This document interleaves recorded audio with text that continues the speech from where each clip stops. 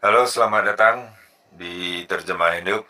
Kali ini kita akan menerjemahkan buku Bahasa Inggris kelas 7 dari halaman 146.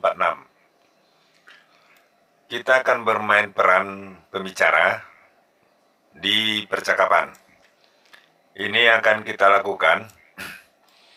Pertama, kita akan mendengarkan secara seksama guru kita membaca percakapan.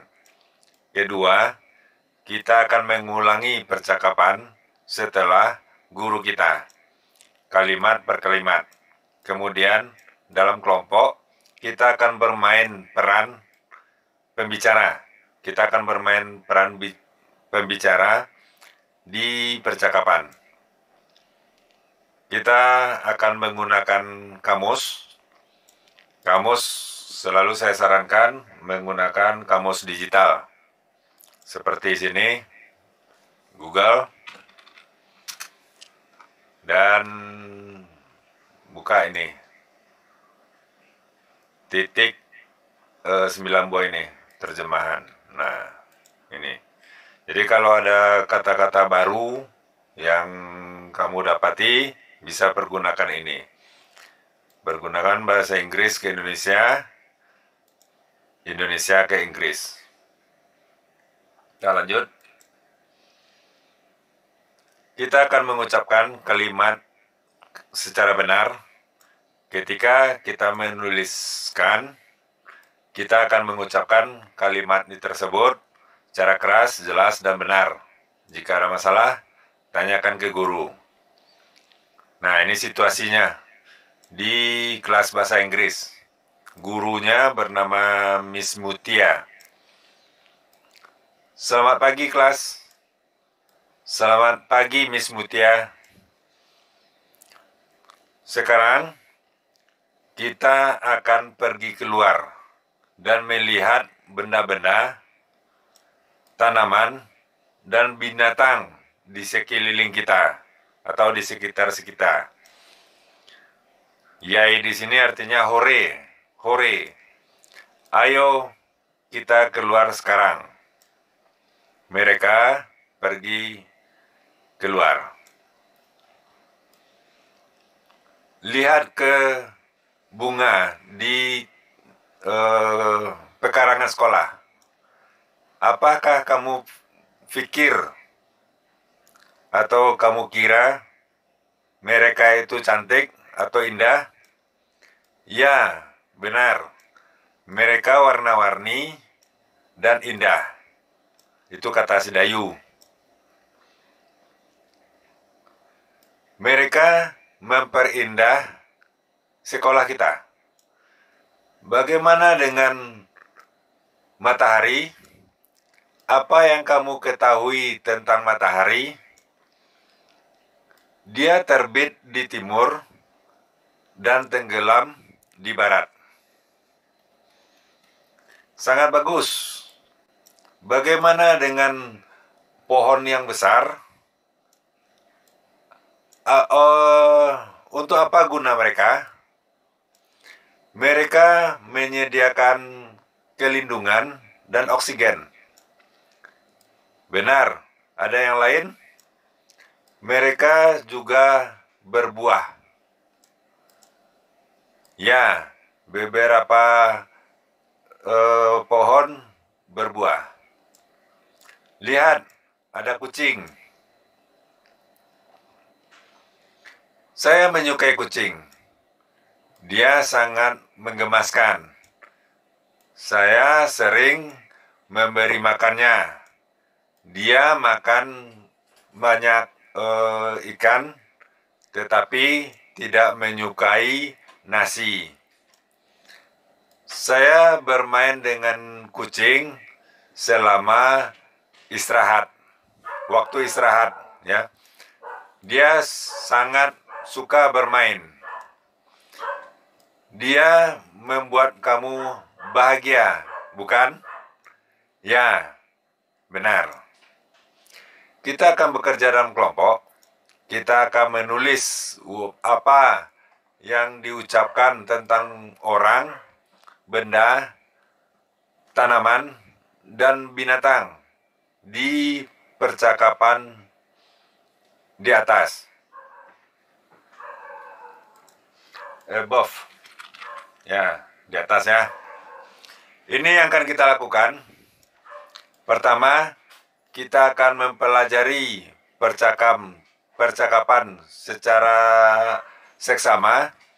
Kedua, masing-masing kita akan menyalin tabel di buku catatan kita. Ketiga, kita akan mendiskusikan informasi yang benar untuk menyelesaikan tabel. Kemudian, kita akan menyelesaikan atau mengisi tabel berdasarkan hasil dari diskusi kita. Kita akan menggunakan kamus Kita akan menggunakan kamus, kita akan mengucapkan kata-katanya secara benar. Ketika kita menuliskannya, kita akan mengucapkan kata-katanya secara keras, jelas, dan benar. Jika ada masalah, tanya ke guru. Nah, ini dia eh, tabelnya. Jadi ada benda-bendanya itu. Kalau di sini ada lima. Ya, flower, bunga di halaman sekolah, matahari, eh, pohon yang besar, kucing, dan beni. Nah, bagaimana pernyataannya? Kalau flower, dia mempercantik sekolah. Kalau matahari, nah kita lihat mataharinya seperti apa.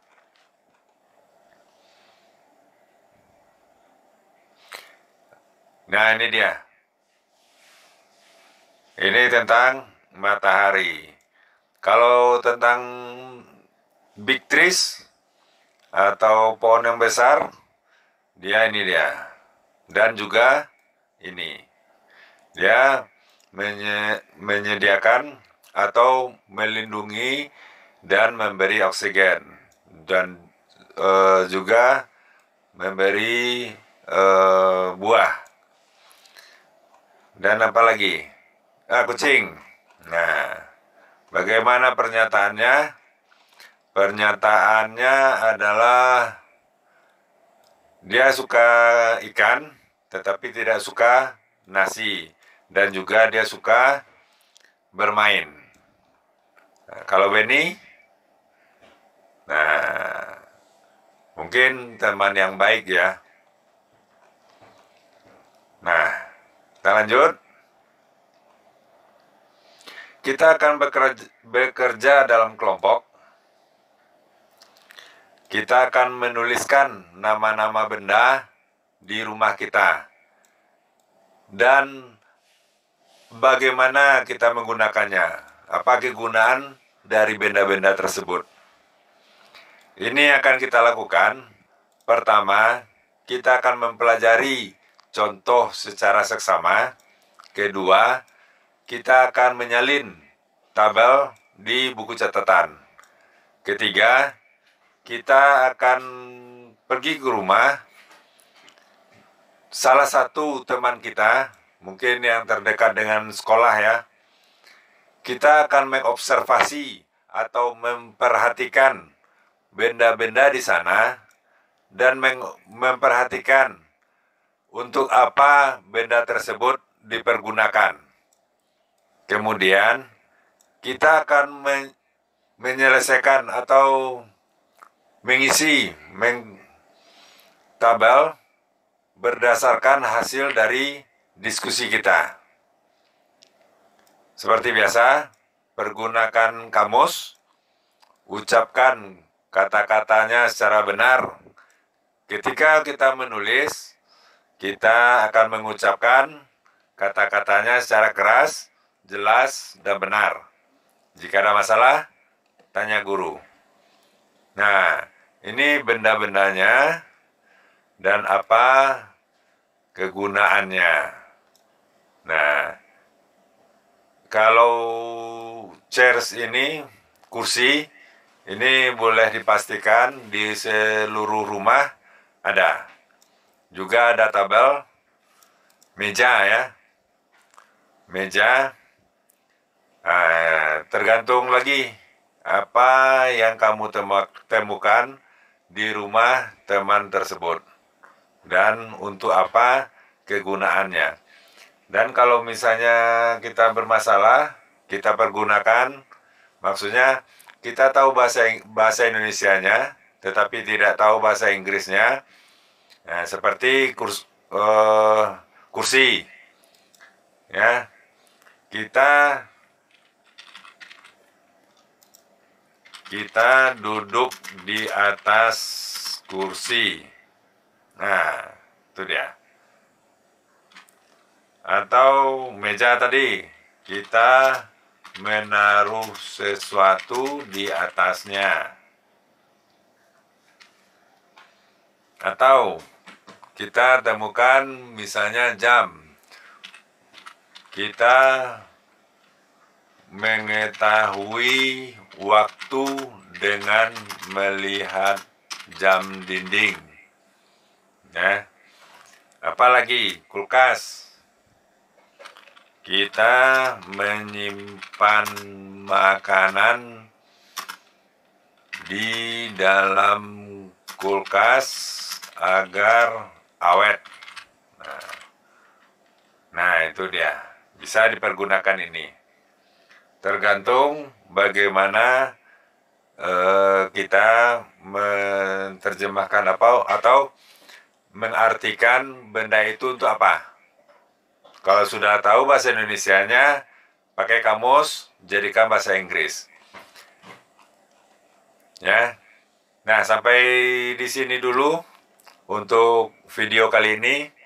Bagi yang belum subscribe, silakan subscribe dan like videonya. Dan juga untuk video yang lain bisa Anda temukan di playlist yang setelah saya buat.